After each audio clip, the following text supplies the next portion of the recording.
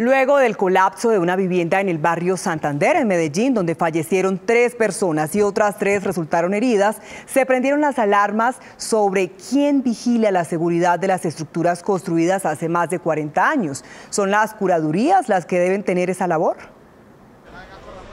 Tras el colapso de este edificio ubicado en el barrio Santander en Medellín, expertos en urbanismo aseguran que es necesario estar atentos a las estructuras que tienen más de cuatro décadas desde su construcción, debido a que podrían llegar a tener las mismas características registradas en la estructura que se desplomó. Si no hay un de por medio, el riesgo es total. Nosotros en la ciudad vemos que eh, hay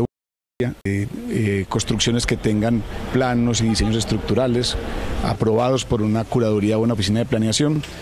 y a eso se le suma muchas veces que quien termina construyendo es un maestro de obra, en el mejor de los casos un oficial que tiene práctica en lo constructivo pero desconoce eh, la calidad de los materiales. Asimismo, reitera el riesgo que significa que estas construcciones no cumplan con los estándares normativos de urbanismo terminan omitiendo, por ejemplo, columnas, como el caso, por ejemplo, ahora lo que observábamos en esta vivienda, donde uno no ve presencia de columnas eh, responsables de la parte estructural, y terminan levantando muros sin ningún tipo de refuerzo, lo que llamamos mampostería simple, que pone en riesgo a las personas que habitan esas viviendas.